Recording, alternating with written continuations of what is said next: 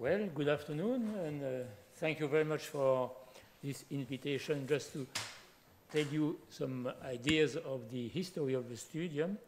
Uh, as you, see, you, can see on the slide, I have been leaving the studium uh, in 2014, so I will only describe what happened before. Uh, the studium is a kind of story, so let me start by a short story. Suppose you have a garden, a garden full of flowers, nice flowers with many colors, well aligned along lines, perpendiculars, curves, like we have in the Loire Valley. In this garden, there are gardeners who take care of the flowers. There is an owner who is also very present and he looks carefully to the flowers. And hopefully there are some visitors coming from France or from somewhere out of France in the world. And now suppose that one day a very tiny plant starts to grow, of course, off the lines of the, of the garden.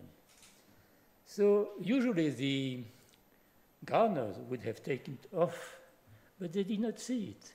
So the plant started to grow a bit, a bit. And then the owner discovered the, the plant.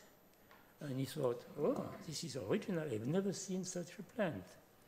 So he just gave him a, put of a, little, a little bit of water, not too much, just to see, to see whether the flowers would be nice or not. And then he asked the gardeners to put some more water, some fertilizers, and the plant started to to grow. Some, some flowers came out, and they, could, they looked very pretty. And he thought, oh, maybe this could increase the reputation of my garden. I will have more visitors. And he gave them some water and some fertilizer. And year after year, the plant grew, and here we are. 25 years after, the plant is here, and we uh, celebrate the his birthday. In, in other words, ah, no, is it okay? Uh, sorry, which, which one is it?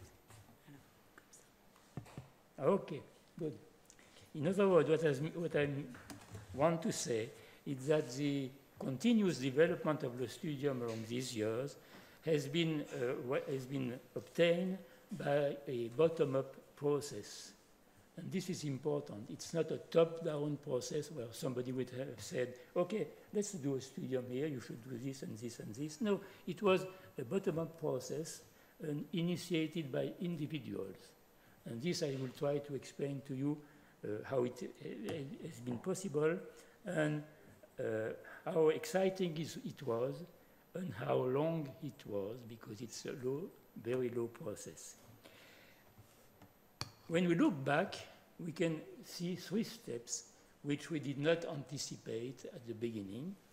In one step, number one, starting in nine, officially in 1996, uh, the studium started in one laboratory of Orléans and slowly extended his, his, his offer to all the research and the University of Orléans, all, all the research institutions in Orléans of the university. And then step number two, uh, with the, the, support and the uh, uh, will of the regional council, we became a regional agency for research and international hosting associates. And we ex have extended our uh, field to the whole area of uh, areas of research in the in the region, which means Orléans, Tours, and other cities where the universities have some satellites and there are some activity in research. And step number three, since 2011, we thought, oh, maybe we are not too far from an institute for advanced study. We could modify this and this, and we could slowly reach the step of uh, uh, being uh, the Loire Valley Institute for Advanced Studies. So this was not completely fixed when we started, and it's somehow the evolution, the slow evolution, with, through this bottom-up process which allowed us to do that. What I want to do to, to say now is, is to come uh, and give more detail on the very beginning of the story. Uh, and then I will not go through the 20 years or 25 years. I will just after show some important features. But just the beginning, the beginning starting the beginning of the 90s here. Uh, and when we go back to 30 years ago, we realize that the world where scientists were working was not the same. We are in now in another world than the world that was in that time. We had no internet, no mobile phone, no or nearly no PC, personal computers in the lab. When we wanted to know what was happening in our field, we had to go through some kind of current contents and to look the, at the abstracts and then send a postcard to the author who hopefully two or three weeks after will have sent you the, the, the reprint. So it was a completely different world. Uh, two characteristics I think was very important. And the situation of the research in France and, in Orléans. In France, research was highly centralized. If you look at a map of France, you would find a, a, big spot in Paris. 60% of the research was in Paris. And the 40 other percent was spread uh, in six or eight cities, big universities, on the eastern part of Paris, from the north to the south, and somewhere in southwest and maybe in Brittany. And looking at what happened here, seen from Paris in an official report, they said there is nothing. It does not mean there was no research. It just, it just means that it was not according to what people saw in Paris, it was not visible. C'était une zone de déprise. So that was where we were. The other thing we had to know, we have to know, is that uh, due to historical reasons, it would be interesting to describe this. I, I like this history of the universities. Uh, the research after the Second World War was centralized in France in a big uh, research, national research institution. And most of the universities, except for the biggest one, were quite low in research because of this. And in Orléans, hopefully, there was a, a young university, 25 years old, who started to grow. And there were uh, several uh, laboratories in three campuses uh, related to national research uh, institution. So there were something which was not visible according to what people said. It does not mean that la individual labs will not have connection with others in, abroad, but it means that the overall scenery was not visible. So how did I came involved in this? Well, uh, I was at that time in Paris. I was professor in physics and biophysics in Paris. I had a lab, a research lab, a CNRS lab at the Curie Institute.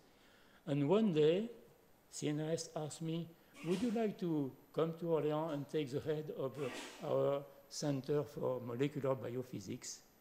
Uh, okay. Uh, I knew, of course, this center. It was the first one in France historically. I knew also that there were some problems inside, some human problems, and, and some problems related to the scientific evolution. So I said, why not? I asked my wife whether she would like to come here. She said, uh, okay, I will stay four years and then uh, I'll come back to Paris. So I, I just asked CNRS to keep my position in Paris in case, just as a return ticket in case things would have been wrong. But it was not the, was not the case. So starting from this, it was in 92, 1992. Uh, uh, in the program which I proposed for the, this center, this CNRS Center for Molecular Biophysics, I proposed to create uh, what I called une pépinière postdoctorale within the center, which means I wanted to attract uh, people from abroad. I wanted to open uh, the doors and the windows of this laboratory and to, to, to put some new air. So I proposed to, to create uh, a kind of center just to, uh, to attract uh, uh, scientists from in this field of biophysics. CNRS told me, okay, this is interesting, but try to find some, some local support because it's too important and we cannot uh, afford this. We can help you, but trying to find local support. So it, the first proposal was in 1993.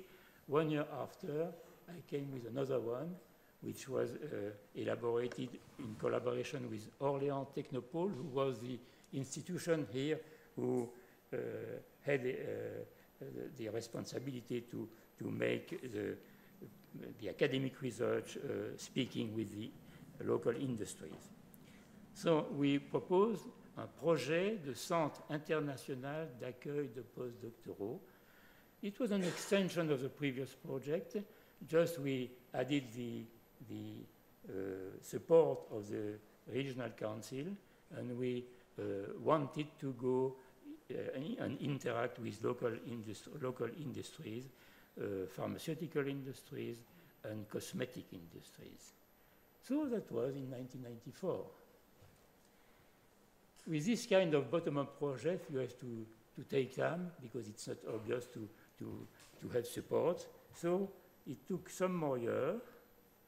And in two years after, 96, 97, we have had the support, financial support of the city, and we decided to to write a, and, to, and to print a, a, sketch.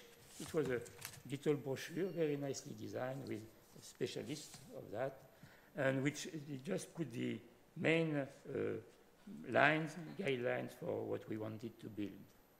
So this was the, the first sketch. In fact, uh, it was, sorry, qu'est-ce que j'ai fait de mauvais là Voilà. it was the first one uh, which I could use to just to make lobbying around here. Uh, inside was the main uh, uh goals of what we wanted to do. We uh, had changed. We did not speak of postdocs anymore. We spoke of of uh, international associate for one to two years. We spoke of guests for less than six months. We spoke of uh, sorry s'appuie là-dessus. Sorry. So we, we spoke also of a, a European network. We spoke of a, the Studium Prize, uh, this kind of thing. Uh, ça y est, c'est bon. Là, vous êtes slide 3. Oui, oui, merci. Uh, and between these small paragraphs, there were a, sort, uh, a number of uh, short uh, sentences who, which gave the philosophy of the project. And I, I want to show you one or two of them. That's the introduction. It was in French and in English. Comme, comme on invente une molécule, nous inventons un nouveau concept d'animation internationale de la vie scientifique. Just as we, a new molecule is invented, so we are inventing a new international concept in scientific endeavors. This was a bit ambitious, but you know, we have to be ambitious because our system uh, uh, use plane as carpenters do. With carpenters, they take wood off with planes. And the system uses planes. If you start with a, a low intensity uh, uh project, you, you, end with nearly nothing. So we, we had to start with uh, something uh, important. And the conclusion would have been what we should have found after 20 or 25 years. Comme on décroche son téléphone, nous activons le studium partout dans le monde. Just as one lifts up the receiver, so we are activating the studium throughout the, throughout the world. So that's what we should do now. In 25 years after, the studium can activate, and in fact, many, many people had, have attended this meeting, uh, former uh, researcher of the studium. So this was the, point, the, the sketch. Uh, just below, we see the first logo. Uh, it was the idea of having a crystal. In the crystal, you see atoms which aggregate and the crystal grows. It was the idea that the studium will, will grow. Uh, at one time, we, we thought to, to give the name of crystal to, to, to the studium, but we did not, in fact. So, with this brochure, I could do some lobbying around, and quite rapidly, uh, a number of, colleagues from Orléans were has been interested in, in working with, with me with, on this project. This is the list of the first colleagues, and some are in the audience. I see Jean-Paul Boisson, mince. Ah, Sorry. Voilà, on va y arriver.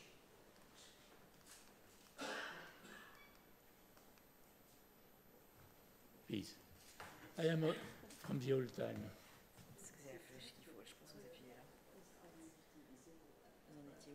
Okay. Okay. So, with these colleagues, uh, as you can see, they are from uh, very different disciplines mathematicians, physicists, chemists, chem chemists economics, etc. Uh, most of them were the heads of the corresponding labs in, here. In. Uh, one was the vice president of the university, and you see in the middle Yves-Michel Ginot, who is the present president of the studium. So there is a certain continuity. He was there from the very beginning.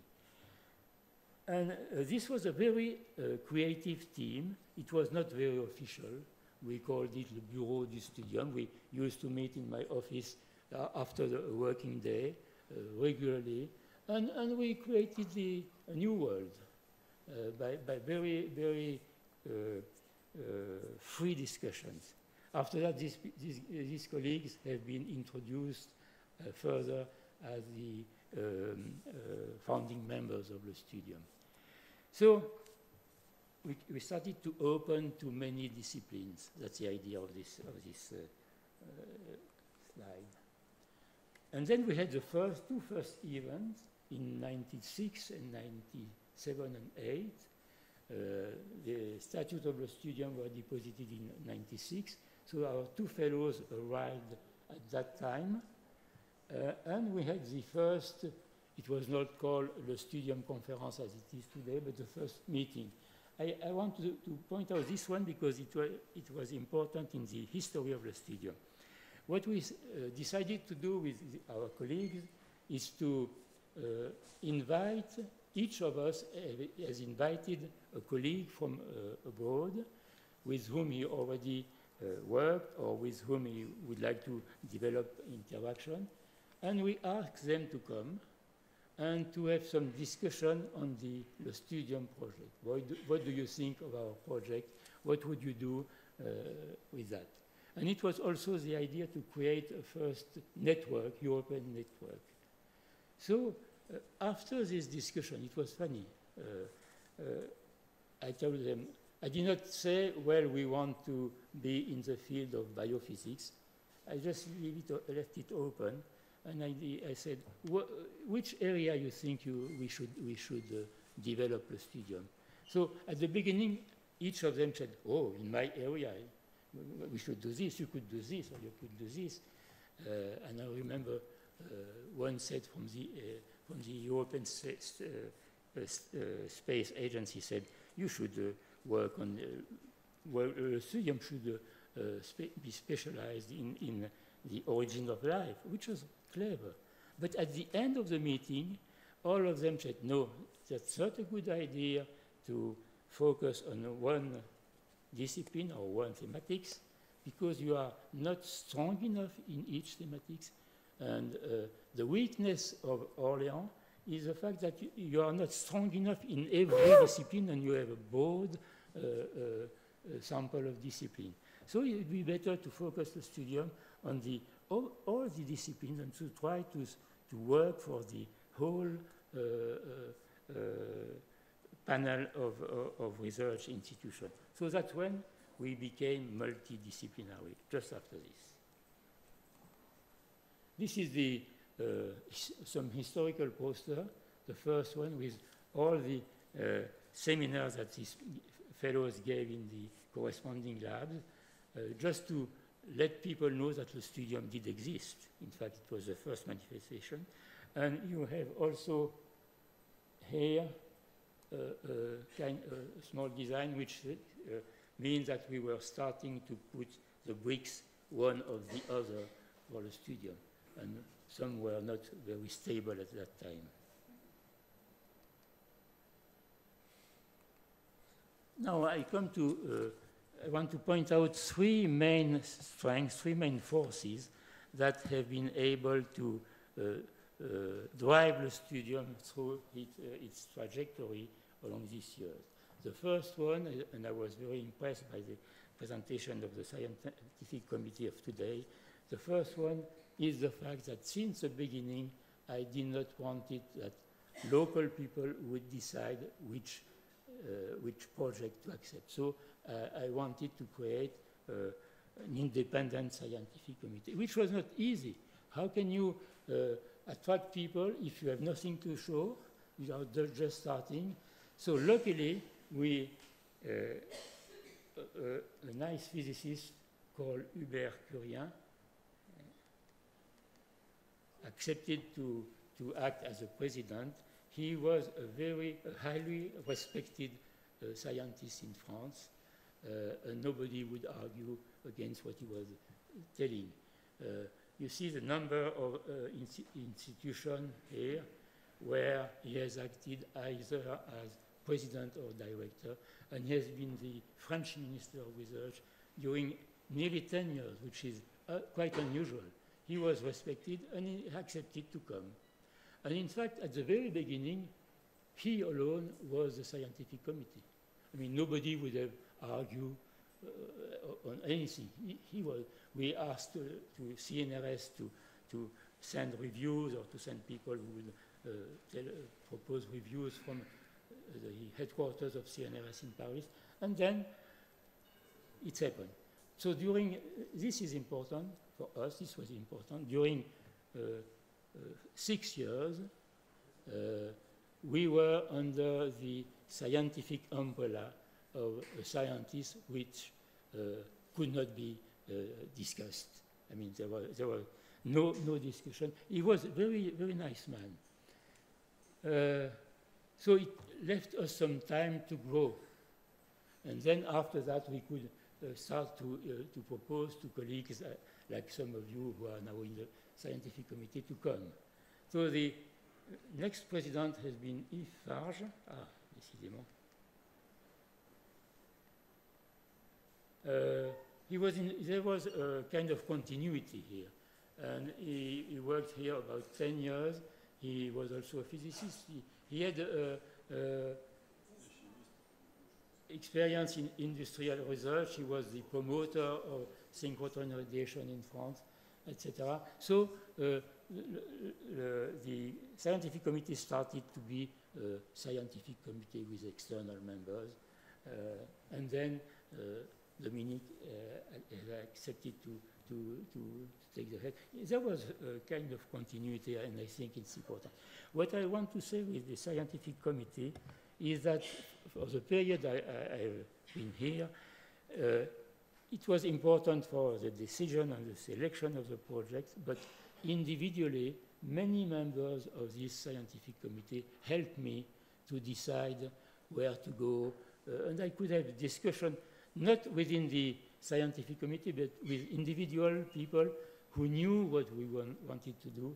So we can, they help also in the choices of the, of the path for the student.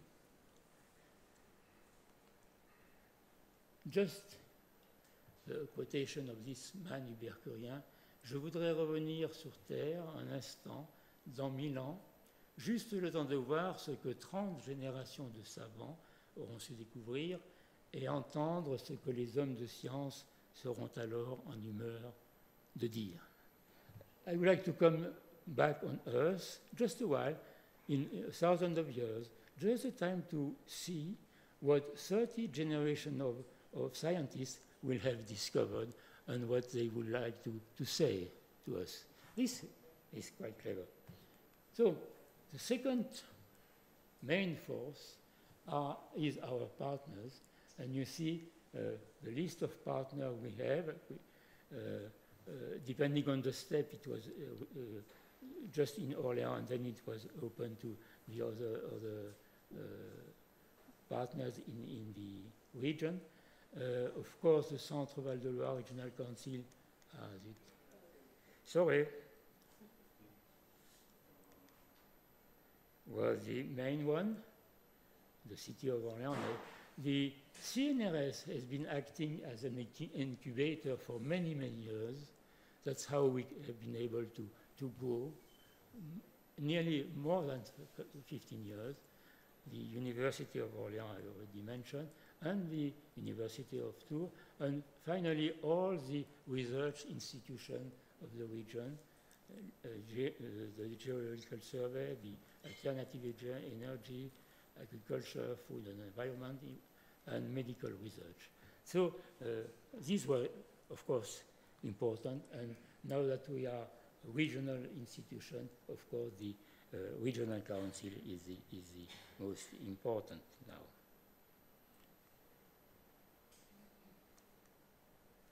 Ah, je suis pas doué. Okay.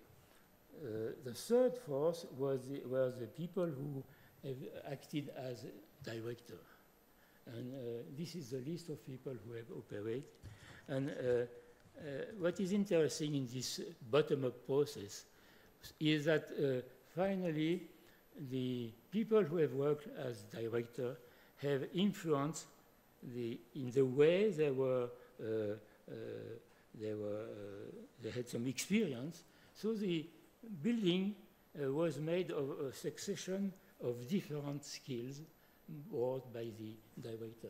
The first uh, director, uh, technical director, is Catherine Lavneau. She was uh, in CNRS engineer, and she, with her we, we, we uh, decided the, the, the um, sketch of the studium, and then she had to leave for personal reason. She just came uh, couple of hours, but she already left. She's now uh, abroad, living abroad. The second, ah,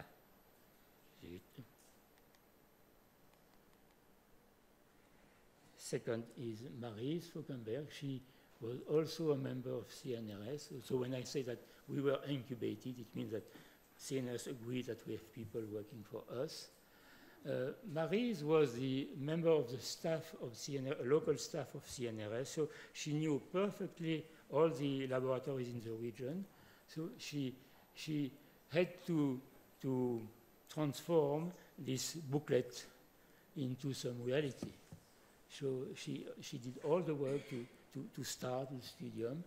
Uh, she is responsible as what, uh, of what we now call l'esprit du studium, the studium spirit, the way to, to consider our, our uh, research associates, the way to, to look for everything, to look at everything. She was also the um, responsible for the fact that we started to, since the beginning, to treat our colleagues not one per one, but as a group and allow them to interact as a group. Then, so she, Maryse, uh, operated during step one and two, quite a long time. Then Jannick Brabant came in. It was a time where we started to, to, to go towards an institute for advanced studies. Uh, she had skills in uh, communication. Uh, she was specialist of that, and she had to, to promote uh, an increasing number of events and to, to organize them and to reorganize the team at the level of an institute for advanced studies. Partly at, at the same time, we had the possibility to hire a past fellow of the studium.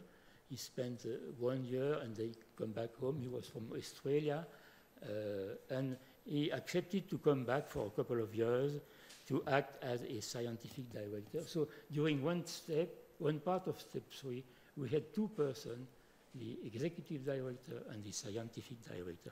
It was a, a, a really important period because with Nick, who had a view from outside, which is important, he could tell us, look, what you are doing here, maybe it's not, we have to change, or why do you do this, and so. So we have improved the level of all the orga scientific organization, and he opened the, the, the studium to the European funds.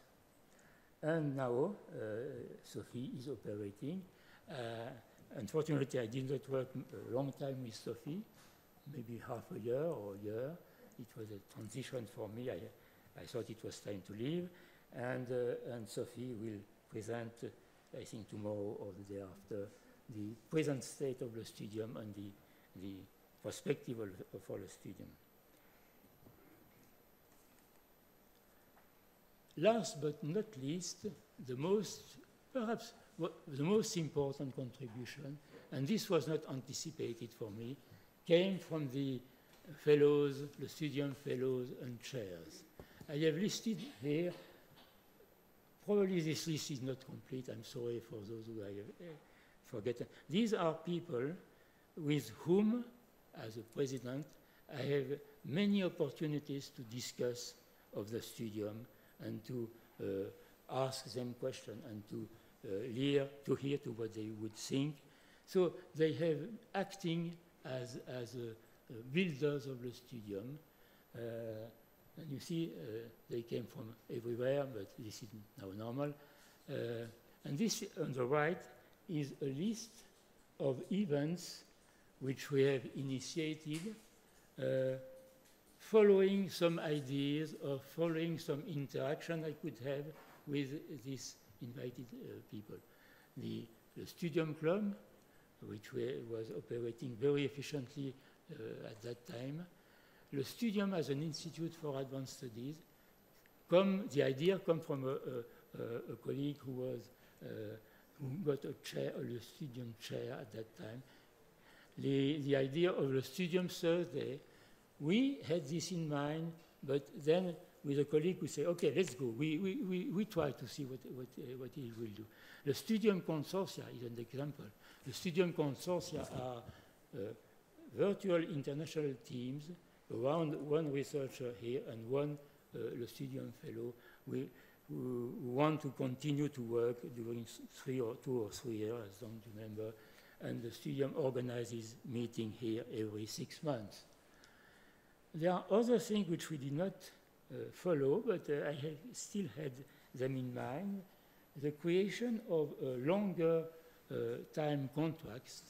In fact, we did not go in that direction, but somehow what we did with Nick Fazzolari, the scientific director, was a kind of long, uh, longer time contract. And uh, we did not uh, succeed to have the Studium Foundation, but many, many people coming here said, why don't you have a Studium Foundation? It would be easier. Yes, but it was not so easy for us. Maybe it will change. Okay. Now I come to an important point, which was uh, how to get a house for the studium. I have listed here some, some dates and some events. In fact, it took us 20 years to have a house for the studium. Uh, this, you have to, that's why I stayed a long time. I just wanted to, to be here when the studium would, would enter here. So just see, in 1994, we were in Center for Molecular Biophysics. And we stayed there uh, until uh, 2005, 10 years, in a lab. Okay, we could use the facilities of the lab and the facilities of CNRS campus, but we were not visible. In 2005, we, we were able to uh, have a house within the, the CNRS campus. Sorry, we, we were able to have a bigger place within the CNRS campus, uh, which allowed us to start new, new events which we could not do before. And it's only in 2014 that we came here. Uh, I just mentioned one point. Sorry, décidément. In 1999, there was a big uh, uh, call for proposal in uh, the framework of the French universities. Uh, they wanted to improve the status of the universities for the next millennium. And uh, I deposited a project for uh, a household studium, a centre de vie studium, uh, to this, uh, this occasion. We have been selected uh, money had been saved for us, there was a line for us. And at the very end, you know, some others did say, okay, I don't have enough money, I don't, etc. So at the, at the end, well, we did not get anything, which means that we were not strong enough to, to, to uh, obtain the money which was given by the uh, selection committee. And this was uh, difficult for me, uh, but I decided to go on and go on. And finally, in uh, 2006, the mayor of Orléans, whom you see this morning, decided that we could be incorporated in this project here. So this this is the house here, which we share with the university, with all the facilities. Uh, and this is important for, for us. Uh, and we have another, the studium, I mean, has another house, not far to here, a small castle, uh, where now Uh, our guests can uh, stay with their families. Uh, this was an 18th century building built by the co cousin of the King of France during the French Revolution. Uh, who is now known as Philippe Égalité because he was not in the same political board than the king. He was more favorable to the revolu revolutionary people. So now this, is, this was the end of my travel with the, the studium, and I, uh, I, reached nearly the end of my, my, my uh, speech. Uh, just summarizing, I like the idea that there is a kind of historical continuity uh, between what we have done. Uh, we, as it is said this morning, we have received 25, uh, more than two, maybe two and a half hundred of researchers here, and uh, hundreds of people invited the, in the, the studium conferences. So this is a, a real input for the research. But if we look to the past, as I think somebody said this morning, uh, I think it was the president of the regional council, at the Renaissance period, where new ideas came, uh, a lot of thinkers and artists were invited here by the various kings of France who were, who were living in the Loire Valley. Uh, so I like the idea that people like Leonardo da Vinci, who was invited by the king, who just said, uh, stayed three years here before he died.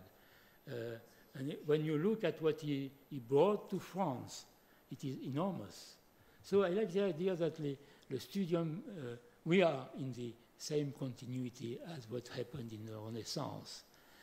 And if we go further, and I think this has been told also this morning, uh, in the Middle Age, when the universities were uh, starting to be recognized in Europe, they were not built upon nothing. They were built upon some activity. Uh, I think that uh, you, Dominique, who told that. There were already some activity, and in some places these activities were called studium. And here we had in Orléans uh, Studium Aurelianensis, which means the, the, Studium of Orléans, which were, uh, seemed to be recognized. And at that time, students came from all over the places, there were no border, and they came to, uh, they were attracted by some, uh, some, uh, some uh, teachers here who had some, some who were, who were renowned. And uh, this place in fact, was the place where the studium was. Near the cathedral, because the universities were, were, were linked to the church at that time. So there is, it seems to me that it makes sense somehow to have a studium here, and I'm quite happy of that. Uh, just, just to finish, uh, sometimes somebody uh, come to me and ask me, uh, why did you choose the studium as a name? So I explained this, and uh, one time a German guy asked me, why did you choose a German word for your institute? I say, okay, he forgot that we have some common roots. And, well, the choice was not easy. We remember we have the crystal as a name. I like the idea of crystal with the light uh, sparkling with the crystal. It was modern for me. But I, I saw this studium and I say, may, it may have sense. But I was not really sure. And one day I asked my wife, what would you choose? Crystal or studium? And she said, studium is very strong, take it. And that's how it happened. Okay. Uh,